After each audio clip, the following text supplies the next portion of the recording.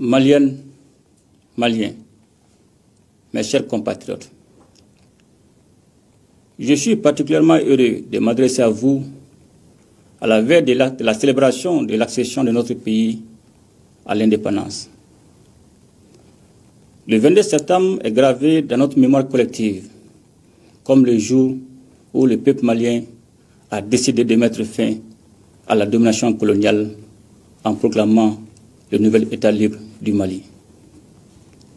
En ce moment solennel, je rends un vibrant hommage au père de l'indépendance avec à leur tête le président Mourouba Keïta. Cet hommage revêt une signification toute particulière au moment où le Mali est engagé dans la reconquête de sa véritable souveraineté. Nous devons suivre résolument la voie tracée il a 64 ans. Je m'incline également devant la mémoire de celles et ceux qui ont consenti le sacrifice ultime pour la patrie, qu'elle leur sera éternellement reconnaissante.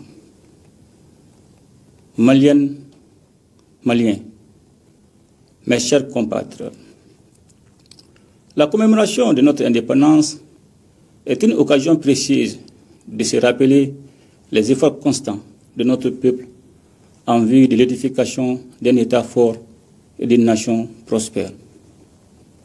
Sur mes instructions, le gouvernement a, pour sa part, poursuivi les actions pour la satisfaction des besoins de nos populations dans plusieurs domaines. Maliennes, Maliens, mes chers compatriotes, la question sécuritaire demeure la préoccupation prioritaire du peuple malien. Cette année, notre fête nationale est célébrée dans un contexte marqué par la grande opération stratégique de reprise de terrain, conduite par les femmes et visant à restaurer l'intégrité territoriale du pays et à les débrasser définitivement de la menace terroriste. Les forces armées et de sécurité ont en effet mené des opérations de stabilisation et de reconstruction dans les régions reprises, permettant ainsi le retour progressif des services publics, des écoles et des infrastructures essentielles. Ces succès remarquables résultent de la coordination des opérations militaires et du redéploiement des forces à Ber, Tessalit, Anifis, Kidal et Agalok. Les attaques terroristes survenues le mardi 17 septembre dernier nous rappellent une fois de plus l'impérieuse nécessité de demeurer vigilant et de maintenir une posture opérationnelle exemplaire en toutes circonstances. En m'inclinant devant la mémoire des innocents lâchement assassinés lors de cette agression barbare, j'adresse également mes voeux de prompt rétablissement aux blessés et salue le professionnalisme des forces d'intervention. Maliennes, Maliens, mes chers compatriotes, les efforts d'investissement continuent dans le cadre de l'acquisition d'équipements militaires et de réformes pour l'amélioration des conditions de vie et de travail des hommes, afin de renforcer les capacités opérationnelles des forces armées et de sécurité. Par ailleurs, la mutualisation des capacités et le soutien opérationnel dans le cadre de la Confédération des États du Sahel se poursuivent. Maliennes, Maliens, mes chers compatriotes, dans le but de renforcer la confiance entre les citoyens et les institutions, notamment l'institution judiciaire, notre justice s'est largement adaptée au contexte de lutte contre l'impunité avec la création de nouvelles structures.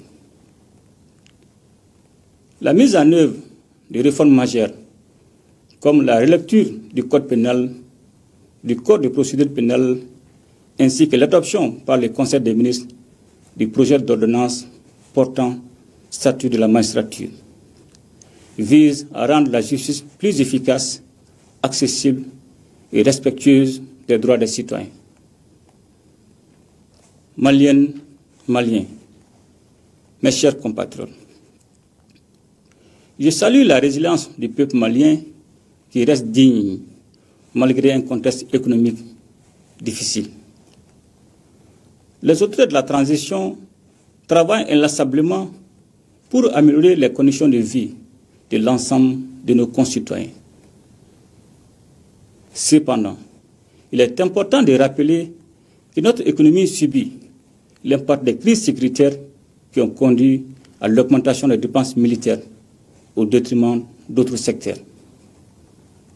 Malgré ces défis, notre pays a maintenu une gestion efficiente des finances publiques, maîtrisant l'inflation en dessous de la norme communautaire de 3%. Au 31 juillet 2024, le recouvrement effectué par les structures de recettes se sont établis à 1291 milliards de francs CFA. Dans le même temps, le Trésor a mobilisé sur le marché financier régional un montant total de 479 milliards de francs CFA afin de financer le déficit du budget d'État, malgré un contexte caractérisé par une augmentation des coûts de financement et une tension de liquidité dans le mois. Toutes choses qui témoignent de la confiance des investisseurs en la signature du Mali. Les ressources transférées aux collectivités territoriales s'élèvent à 440 milliards de francs CFA en 2024 contre environ 412 milliards de francs CFA en 2023, soit une hausse de 6,82%. Par ailleurs, pour assurer un approvisionnement correct du pays en produits de première nécessité à un prix maîtrisé, sur la période du 1er septembre 2023 au 31 juillet 2024, les exonérations des droits et taxes accordées aux cordons douaniers se sont chiffrées à plus de 274 milliards de francs CFA, soit 34,62% des recettes réalisées au cours de la période concernée. Je salue l'ensemble des acteurs qui contribuent aux efforts de développement économique, notamment ceux des secteurs rural, industriel, du commerce, des services et de l'artisanat. Maliennes, Maliens, mes chers compatriotes, en 2024, le recensement général agricole a été lancé, ouvrant la voie à la digitalisation des exploitations. Les aménagements hydro-agricoles se poursuivent pour exploiter durablement les potentiels des fleuves Niger et Sénégal. Le gouvernement renforce l'approvisionnement en intra et réajuste le prix du coton graine et développe la recherche agricole pour améliorer les semences. Malgré les défis, des mesures sont prévues, dont la promotion des méthodes alternatives, l'élaboration d'une loi pour les investissements agricoles et la création de pôles agro-industriels. Ces actions témoignent de notre engagement pour un Mali agricole résilient et prospère. Maliennes, Maliens, mes chers compatriotes, dans le domaine de la santé et du développement social, des efforts ont été consentis pour améliorer l'accessibilité des services de santé à la population à travers la construction ou la réhabilitation ainsi que l'équipement de plusieurs infrastructures sanitaires. Par ailleurs, des actions de solidarité et de lutte contre l'exclusion ont été menées en direction de nos populations vivant dans la précarité ou frappées par des crises de diverses natures. Consciente du rôle de la jeunesse dans la construction nationale, les auteurs de la transition ne ménagent aucun effort pour qu'elle soit en bonne santé, bien formée et en l'amour de la patrie, et capable d'accomplir toutes les actions de développement et de défense de la patrie. Dans le domaine de l'éducation, l'État a consenti des efforts importants pour construire ou rénover des établissements d'enseignement fondamental et secondaire dont je salue la bonne organisation des examens de fin d'année. Au niveau de l'enseignement supérieur, la construction du centre d'intelligence artificielle et de robotique se poursuit. L'université de Sikasso a accueilli ses premiers étudiants. Des actions sont en cours pour l'opérationnalisation des universités de Gao, Tomoktu, Kayi et Bajangara. Maliennes, Maliens, mes chers compatriotes, dans le but de renforcer les capacités de nos structures publiques et d'améliorer l'offre des services rendus aux populations, il a été procédé, au titre de l'année 2023, au recrutement de 1417 agents. Également, 776 nouveaux fonctionnaires seront recrutés au titre de l'exercice budgétaire 2024. La formation professionnelle et la création d'emplois constituent également une priorité pour les outils de la transition. C'est dans ce cadre que la stratégie nationale de l'entrepreneuriat au Mali, assortie d'un plan d'action quinquennal sur la période 2025-2029, a été adoptée. Une grande attention est accordée aussi à l'insertion socio-professionnelle des jeunes ruraux à travers le projet FIER 2. Le gouvernement travaille pour l'application d'une meilleure politique JAR afin que les femmes maliennes puissent jouer pleinement leur rôle dans le développement socio-économique du pays. Maliennes, Maliens, mes chers compatriotes, la diplomatie malienne est restée active pour défendre les intérêts de notre pays. Le renforcement de nos relations avec des partenaires stratégiques respectueux de nos choix a ouvert de nouvelles opportunités et favorisé notre présence sur la scène internationale. Aujourd'hui, le Burkina Faso, le Mali et le Niger incarnent la renaissance d'une Afrique qui se libère et invente son unité et son développement sur de nouvelles bases. La Confédération des États du Sahel, créée le 6 juillet 2024, a été sans conteste un élément clé de la reconfiguration géopolitique de la région, voire au-delà. Comme vous le savez, j'ai été honoré par leurs excellences les présidents Ibrahim Travelé de Burkina Faso et Abdurrahman Chani du Niger pour assurer la présidence inaugurale de la Confédération.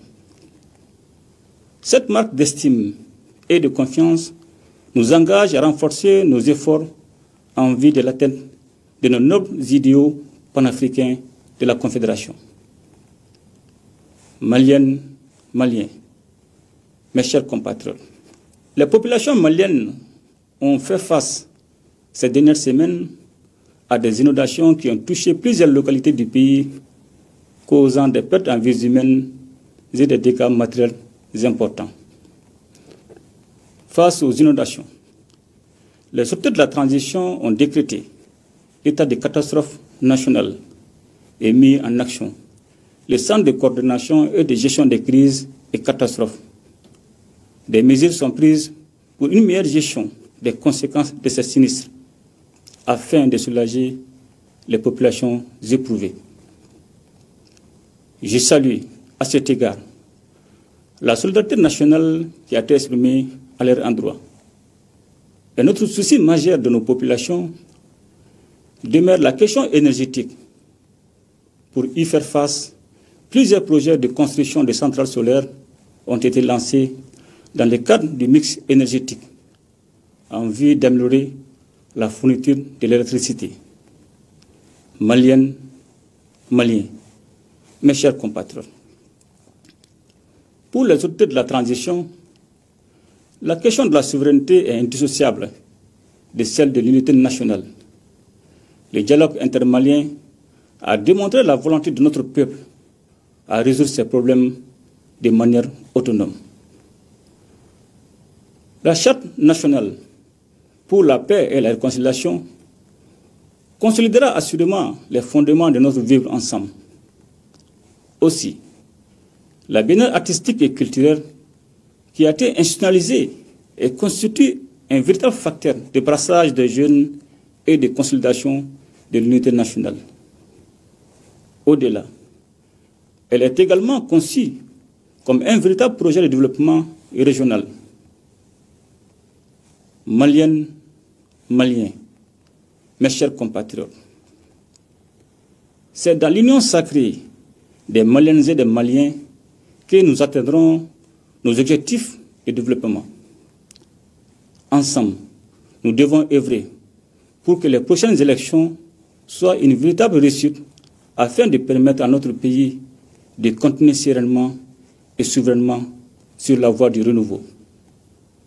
Pour terminer, je souhaite un joyeux 64e anniversaire à toutes les Maliennes et à tous les Maliens dans la paix et dans la concorde. Qu'Allah bénisse le Mali et protège les Maliens. Je vous remercie.